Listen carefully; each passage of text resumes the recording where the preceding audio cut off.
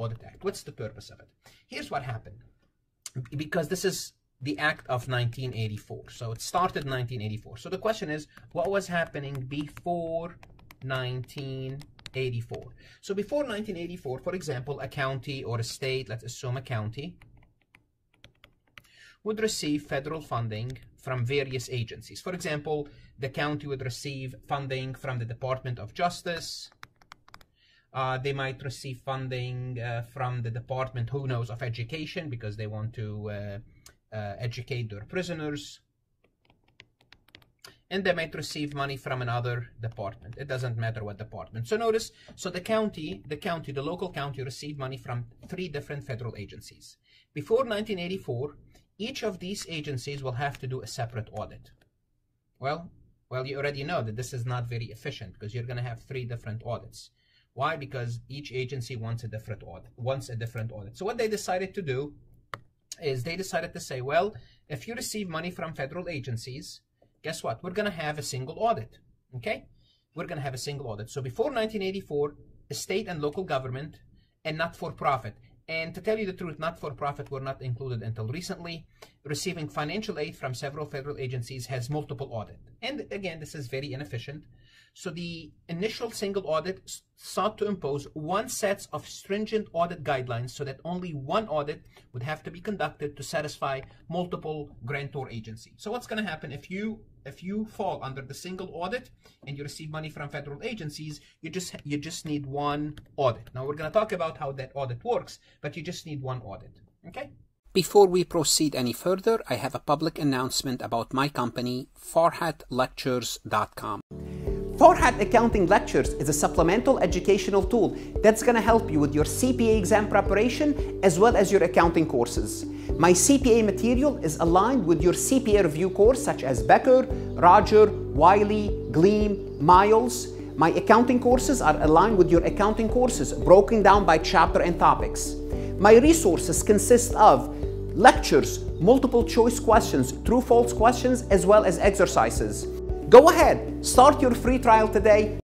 So the single audit of 1984, what, what, what office administered this program? The Office of Management and Budget, or OMB. So the purpose of it is to replace grant by grant audit with a single audit. So basically have one comprehensive audit, as I just said.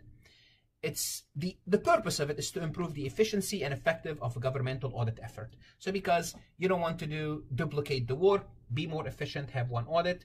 Federal agencies must agree to this process. So the federal agencies that are given the money, they must agree to this, this process, and we assume they agree. Uh, apply to both direct and indirect recipient of federal money. If you receive direct or indirect money, indirect means you receive money from another government agencies, but that government agency got the money from the federal government. So in, 19, in 1996, the 750,000 is the threshold so if you receive more than 750,000, we're going to talk a little bit more about this amount. Once again, this amount changes from year to year. Okay, and we're going to talk about single award versus multiple award. Okay, in, in 1996, higher education, state and local government, as well as not-for-profit entities now are included under the single audit. Before, the higher education and not-for-profit were not included, only state and local government. Now, higher education and not-for-profit, they are included under the single audit. Okay, so the Circular A, it's uh, A133, and related compliance provide implementation guidance. So where do, you, do auditors look for implementation guidance? Something called Circular A133. So let's take a look at who qualify for this single audit. So here's what you need to ask yourself. Did the non-federal entity expend, means spend, you might receive more, but spend 750,000 or, or, or more of federal awards. Now, again, the 750, you might be looking at this lecture two, three years from now. It might go up to a million. It might go up to 3 million. It doesn't matter. If the federal agency did not receive, if the federal agency did not receive, not, not receive, did not spend, expend, which is spend, 750,000 in federal award, then no single audit is required. So all what you need is a program-specific audit, only GAGAS, and on the GAAS and GAGAS audit. So basically you need to do your regular audit, which what we saw in the prior session, what I told you to view, and the governmental audit standard regular audit.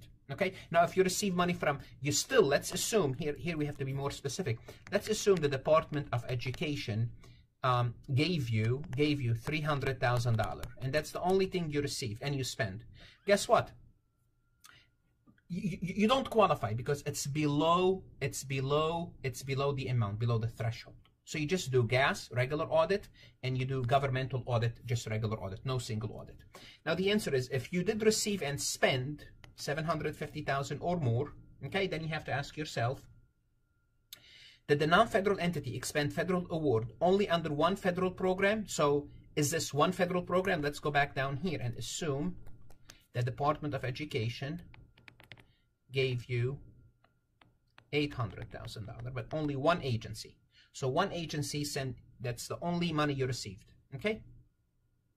And only one federal agency would did not require a financial audit, and there's no financial audit. They did not require a financial audit, okay? You're, and you did not meet other requirement, other requirement for the single act, and properly elected the program specific audit. And you decided as the county to go with the program specific audit. So if you receive money from one agency, and you don't usually you don't have to have an audit just because the nature of your government you, you don't have to have an audit then under those circumstances there's no single act all what you do is you do a program specific audit so because it's only the department of education that gave you the money so you could elect to do still elect one specific program audit under certain circumstances okay so notice only one federal program so you receive money from one agency now what happens if you receive money from more than one federal agency well and assuming you exceed the threshold, then this is where the single audit is required.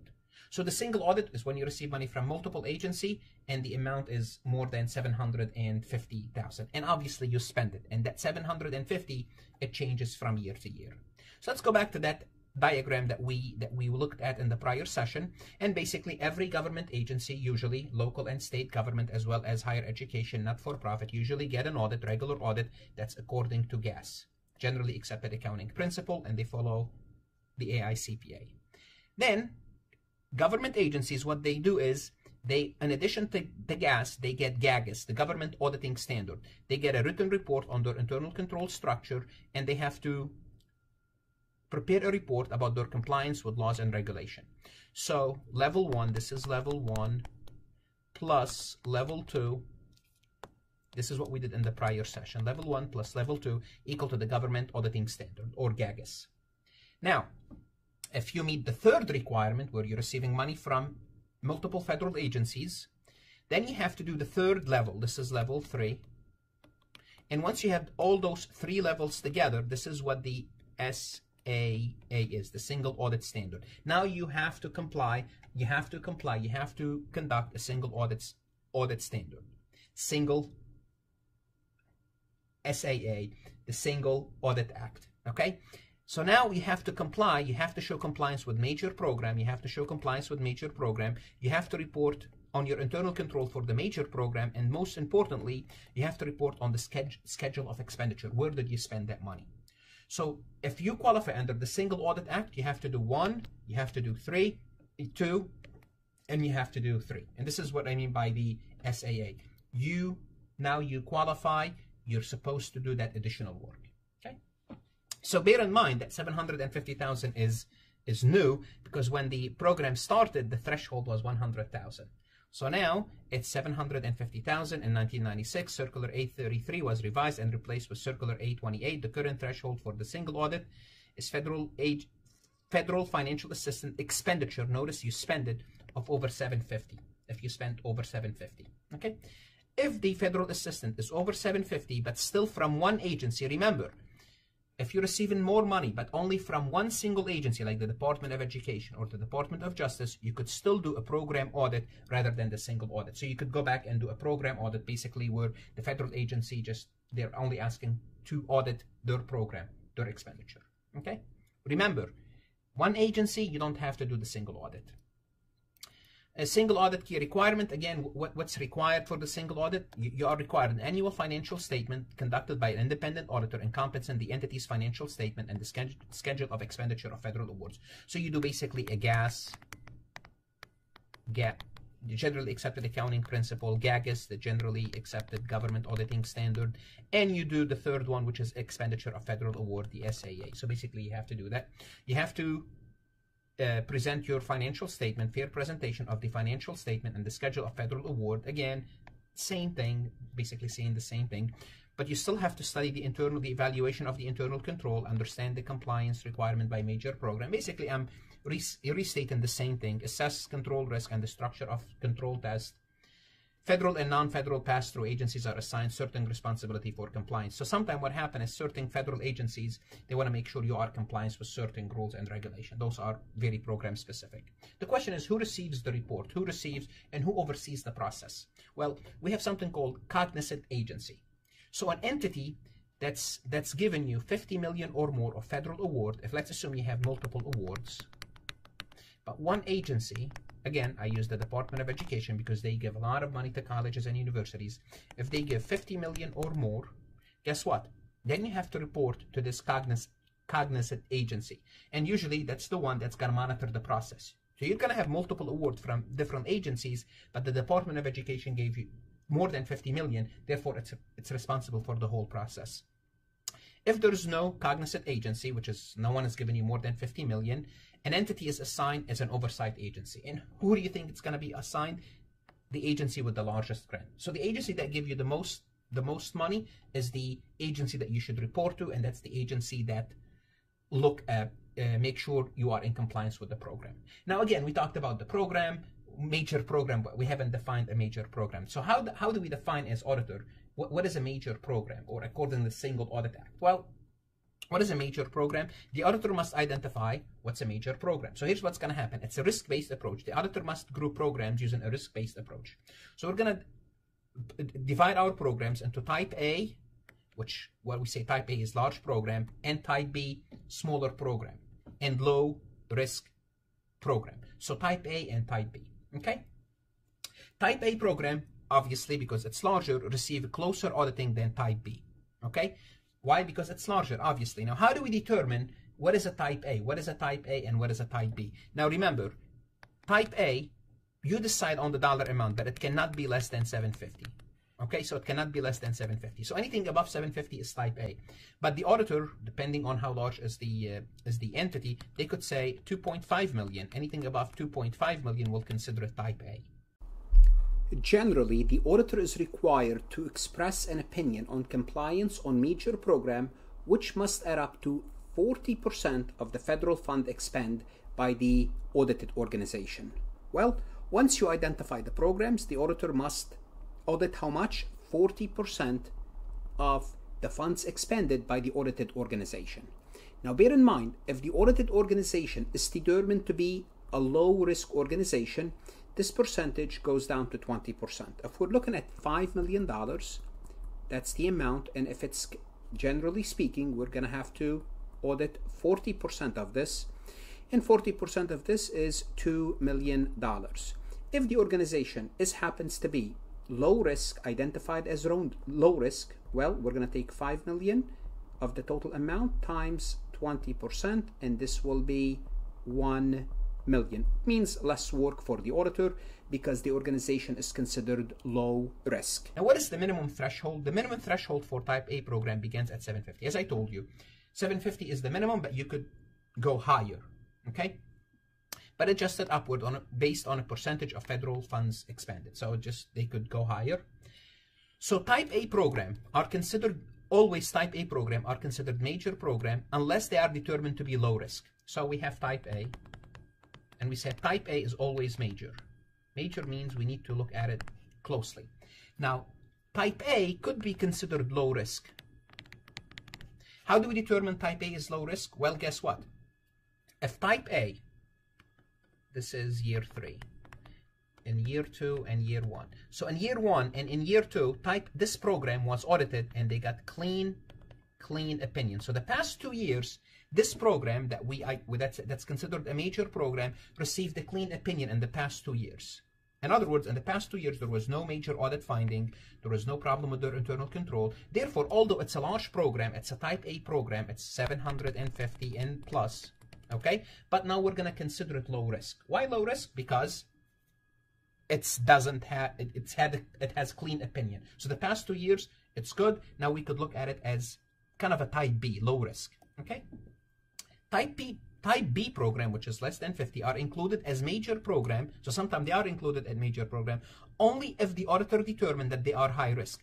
How do, how do we determine it's a high risk? Well, they don't have a clean opinion. Uh, they're having some problem with their internal control. Then type B could be considered, type B could be considered high risk.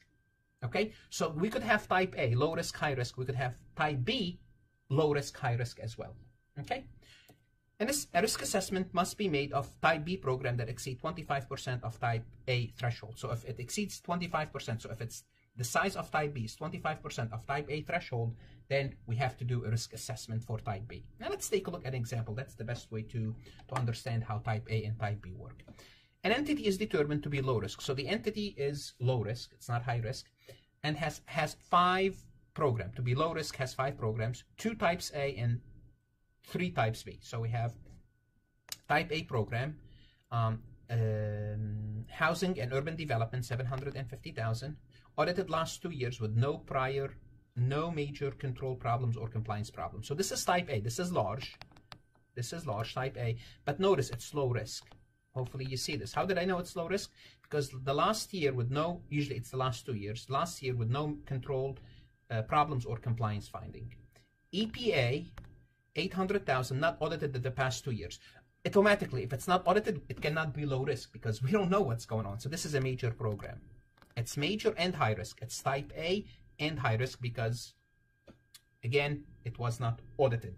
Okay, we have three type B program. Department of Education. Notice they're less than four, less than 750. Type B. Uh, Department of Energy 310 and Department of, Agri- of Agriculture uh, $90,000. Okay, so now what's going to happen? We're going to determine what program should we audit. What program should we audit? Okay, so let's add them all up. Let's add the programs up. So if we take 750 plus 800,000 plus 400,000 plus 310 plus 9, so 400, 800. So we have in total, if we add up all the programs, they add up to 2,350,000. So all the programs together, A and B, 2,350,000. If we take 2,350,000 multiplied by 40%, it means we have to audit 940,000. Which program do we have to audit? Well, the first thing we're going to audit is the EPA, which is 800,000 because not audited during the past two years and it's a major program above 750.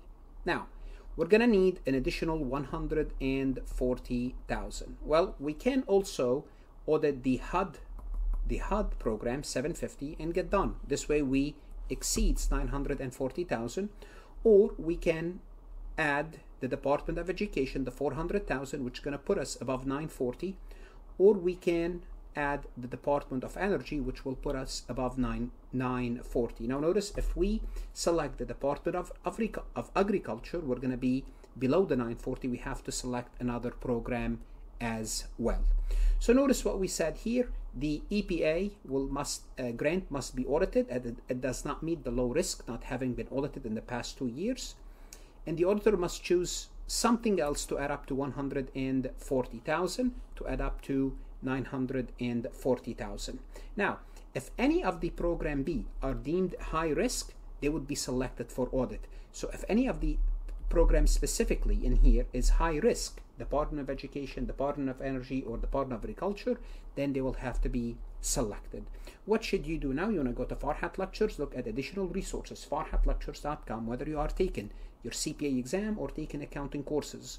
Good luck, study hard, and of course, stay safe.